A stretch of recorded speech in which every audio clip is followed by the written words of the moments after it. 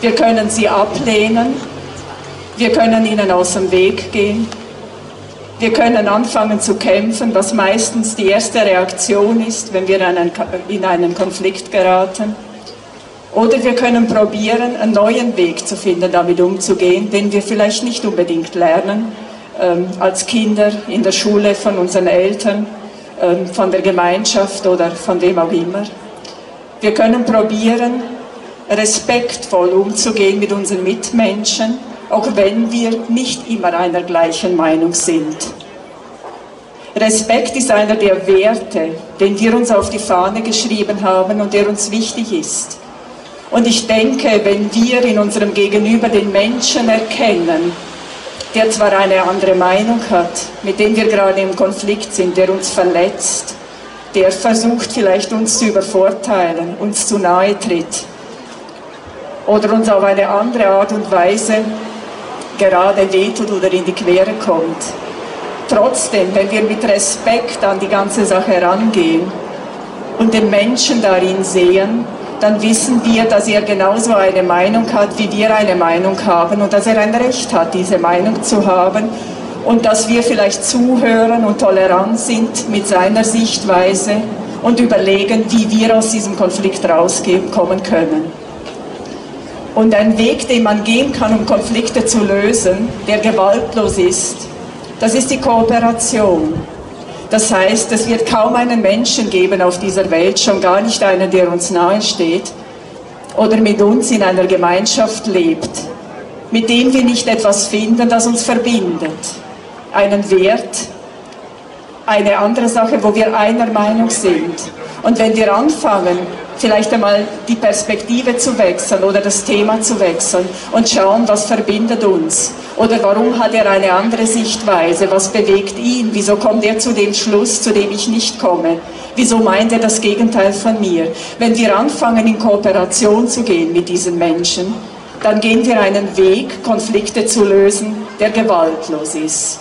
Und was wir im Kleinen tun können, das können wir auch im Großen tun. Was wir im Kleinen schaffen, das können wir auch fordern, dass unsere Politiker im Großen tun. Und das ist der Grund, warum wir in diesem Verein uns entschieden haben, dass wir den Weg der Gewaltlosigkeit gehen wollen. Respekt ist Voraussetzung dafür.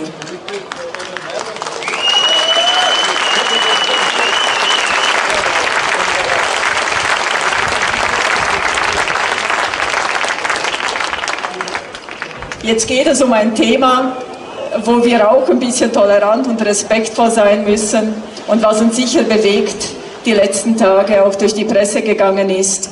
Und das sind die Waffenlieferungen, die momentan beschlossen worden sind, die gelockert werden und in Konfliktgebiete äh, entschieden worden ist, dass Waffen in Konfliktgebiete geliefert werden. Wir haben einen Referenten zu Gast, der jetzt als nächstes kommt.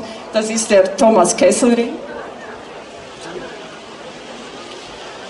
Er war Dozent für Philosophie und Ethik. Er hat die Schwerpunkte Entwicklungspsychologie, Moralentwicklung, Entwicklung der Emotionen und Empathie und Ethik. Er selber bezeichnet sich als Absteiger und Tiefgänger. Damit meint er mehrere Sachen. Einerseits geht er wahnsinnig gern in Höhlen, ganz tief in die Höhlen. Je tiefer, desto besser, sagt er. Und er unterrichtet gerne ganz unten in der Welt, in Ländern, die in der Weltstatistik auch ganz unten sind. Zwei davon sind Mosambik und Brasilien.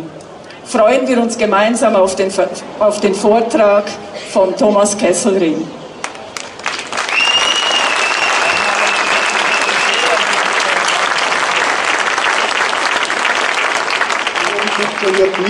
jetzt kommt es, okay. Ja, ich möchte Sie begrüßen mit einem kleinen Limerick. Es lebt ein Bürger in Langenthal, Chef einer Firma mit Klangenschal. Er ist dieser Mister, unser Wirtschaftsminister. Seine Reden, die klingen und klangen fahl.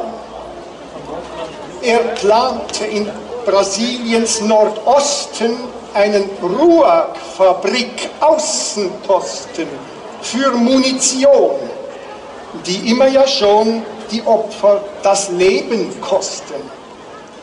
Doch ist in Brasilien das Morden inzwischen ein Volkssport von Horden. Mit Kugeln, die krachen, Geschäfte zu machen, wird dann doch zu peinlich geworden. Ja, ich sollte ursprünglich, ich gehe jetzt in Prosa über, wenn Sie ganz gut zuhören, kann ich zum Schluss noch ein weiteres Poem bringen, wenn Sie wollen. Ja, ähm, ich bin eigentlich gebeten worden, über die äh, Munitionsfabrik in Brasilien zu sprechen. Aber da Anfang September der Bundesrat nun doch entschieden hat, sie nicht zu bauen, habe ich das Thema geändert. Es hat leider viel gebraucht, damit er sie nicht baut. Ich selber habe an diesen Langenthaler Bürger einen offenen Brief geschickt, in dem ich auch die Statistiken, die Mordstatistiken in Brasilien erwähnt habe und heruntergebrochen habe auf die Größenordnung eines Dorfs oder Stadt wie Langenthal. Also im brasilianischen Durchschnitt würden in Langenthal pro Tag fünf Personen, im, im Jahr fünf Personen ermordet. Äh, in Recife, wo die Fabrik zu stehen gekommen wäre, sind es sogar acht Personen pro Jahr. Und ich habe dem Bundesrat auch geschrieben, wenn Sie noch ein bisschen weiter nach Nordosten gehen, nach Fortaleza, dann wird die Fabrik noch mehr rentieren, denn dort sind es 12 bis 13 Personen pro Jahr, die, wenn es Langenthal wäre, dort umkämen. In Brasilien sind es 60.000 ungefähr im Jahr. Aber gut, ich äh, habe das Thema geändert und bin jetzt auch gebeten worden, in Anbetracht der, äh, des Wetters zu kürzen. Ich wollte ursprünglich auch noch ähm, die Statistiken zeigen über Kriegsmaterialexporte und besondere militärische Güter. Das mache ich jetzt nicht. Ich, gehe, ich zappe da durch. Sie können das äh, auch, auch online im Internet finden. Ich möchte nur das eine sagen dass meistens von, einfach von den Rüstungsexporten die Rede ist, aber es gibt eben auch die sogenannten besonderen militärischen Güter. Das sind sogenannte Dual-Use-Güter, die man auch zivil verwenden kann. Also Beispiel Chemikalien, die man als Sprengstoff oder als Dünger benutzen kann oder die berühmten Pilatus-Flugzeuge. Wie gesagt, ich werde darüber jetzt nicht sprechen, sondern gleich ähm, zu der Frage übergehen, wie wird äh, eigentlich der Rüstungsexport begründet. Ähm, ich bin, wie gesagt, nicht Historiker, sondern äh, Philosoph und mein, sozusagen mein ähm, Metier ist es zu argumentieren.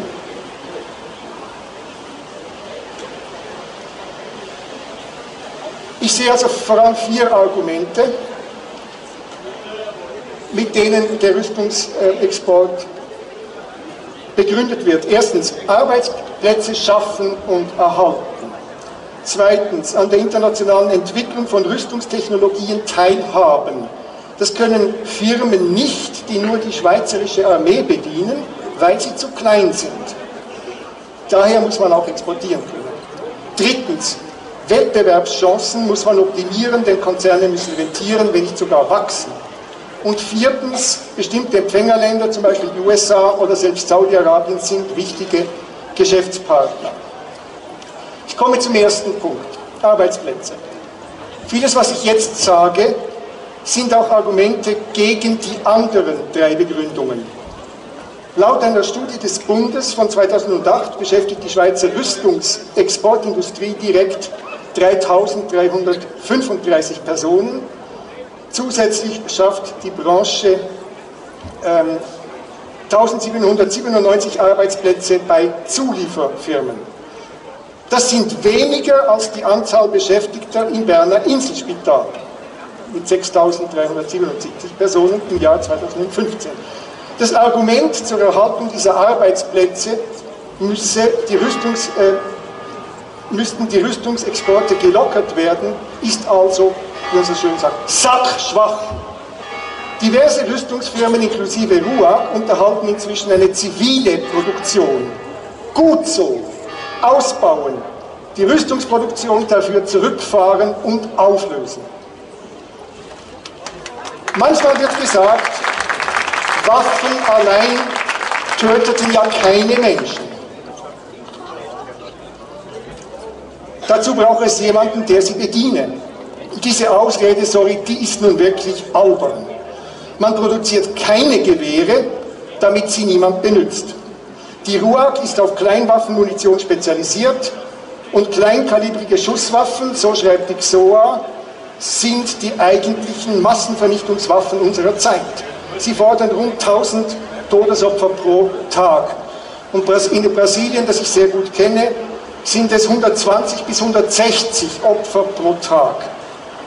Übrigens gibt es inzwischen auch autonom gesteuerte Drohnen, die ihre Opfer automatisch ansteuern und automatisch Schüsse abgeben. Oft hört man, es werde dafür gesorgt, dass exportierte Waffen und Munition nicht in falsche Hände geraten. Welches die falschen Hände sind, merkt man aber meist erst im Nachhinein. Und es gibt nie eine Gewähr dafür, dass Rüstungsgüter nicht von den richtigen Händen in falsche Hände weitergereicht werden. Wobei dann plötzlich Ruag-Handgranaten im syrischen Bürgerkrieg auftauchen. So geschehen 2012. Daher ist das Verbot, Rüstungsgüter in Länder zu exportieren, die für gravierende Menschenrechtsverletzungen bekannt sind, völlig unzureichend. Richtige Hände sind eigentlich die, die Waffen lediglich zu ihrer Verteidigung benutzen so als ob sich Angreifer und Opfer immer klar unterscheiden ließen. Haben Sie schon mal von einem Krieg gehört, in dem sich die Angreifer nicht auch verteidigen? Ja, es hat in der Geschichte immer wieder klare Angriffskriege gegeben. Doch sehr oft sind die Gründe, die zu Krieg führen, komplex und verschachtelt. Wenn Kinder sich streiten, behauptet jedes, du hast angefangen. Nein, du! In Ländern wie den USA oder Brasilien wurden schon viele Kleinkriminelle oder Personen, die für solche gehalten wurden, von Polizeibeamten erschossen, angeblich aus bloßer Notwehr.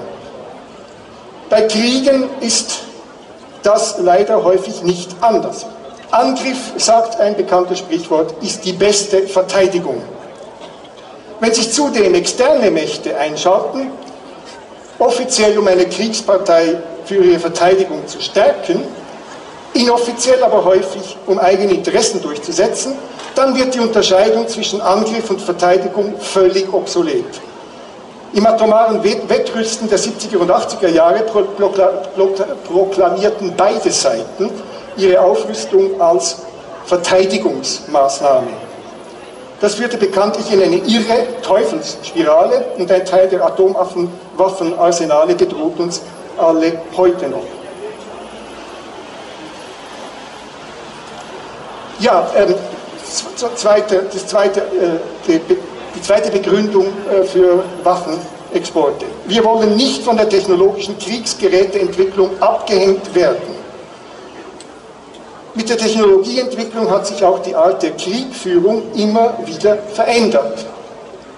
Sie wissen äh, sicher, im Ersten Weltkrieg kamen zum ersten Mal Flugzeuge ähm, im Laufe des Krieges äh, zum Einsatz. Nach 1945 kam es zum Kalten Krieg mit atomarer Hochrüstung. Die ersten Atombomben wurden 1945 abgeworfen. Dann kam der NATO-Doppelbeschluss und unter äh, US-Präsident Ronald Reagan kam es zur Strategic Defense Initiative, die dann auch als Star Wars nach dem bekannten Film bezeichnet wurde. Kriegführung schien immer teurer zu werden, die Technik dazu immer komplizierter, weiträumiger einsetzbar und unheimlicher. Andererseits bestand die Hoffnung, dass sich kein Land mehr diesen riesigen Aufwand würde leisten können.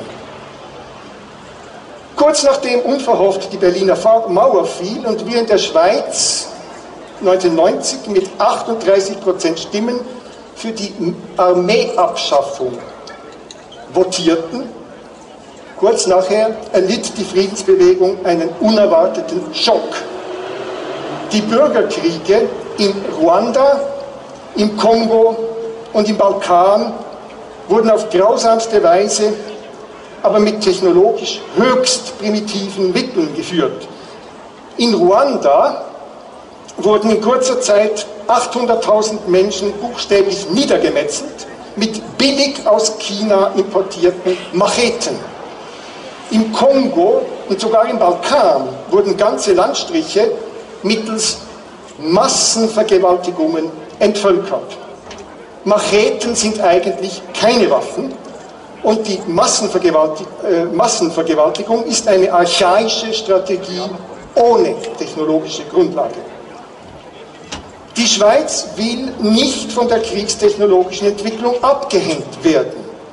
Was heißt das in Anbetracht dieser Vielfalt an Mitteln zur Kriegsführung, die uns doch längst schon zur Verfügung stehen?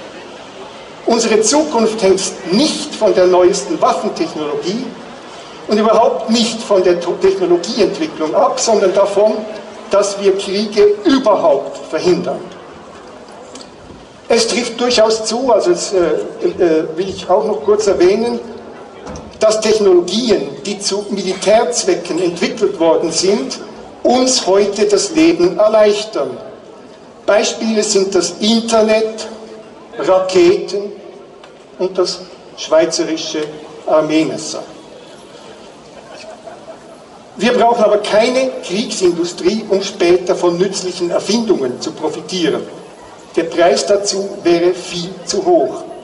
Falls ähnliche Erfindungen nicht auch außerhalb der Rüstungsindustrie möglich sein sollten, was ich nicht glaube, ich meine, das Internet ist dann im Wesentlichen außerhalb der Rüstungsindustrie weiterentwickelt worden, äh, so ist es immerhin doch so, dass die Menschen bis vor kurzer Zeit auch ohne Internet, Raketen und schweizerischen Taschenmessern recht gut und glücklich überlebt haben.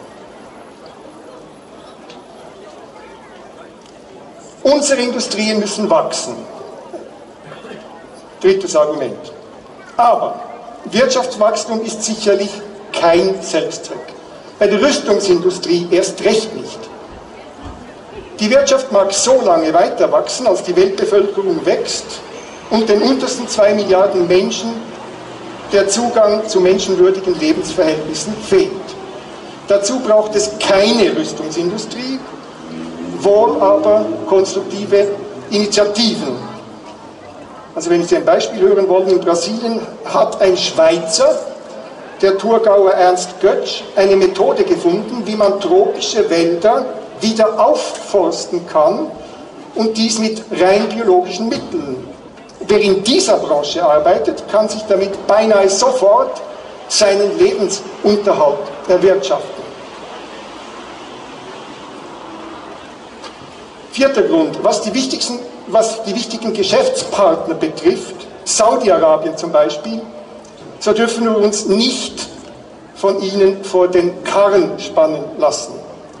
Es ist skandalös, dass die Schweiz trotz der saudischen Kriegsoffensive im Jemen seit März 2015 weiterhin Munition und Ersatzteile für früher verkauftes Gerät an Saudi-Arabien lieferte. Was sagt die SECO dazu?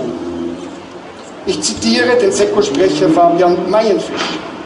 Die Schweizer Industrie muss Verträge einhalten, weil sonst Entschädigungsforderungen gestellt werden. Außerdem ist äh, Saudi-Arabien ein wichtiger Handelspartner, die größte arabische Volkswirtschaft hinter den Vereinigten Arabischen Emiraten und Destination des zweitgrößten Schweizer Exportvolumens im Mittleren Osten mit 4,6 Milliarden Franken 2014. Saudi-Arabien ist das Beispiel eines Landes, das zum Zeitpunkt, als der Rüstungsexport begann, keinen Krieg führte, seither aber das gelieferte Material in Kriegen einsetzt.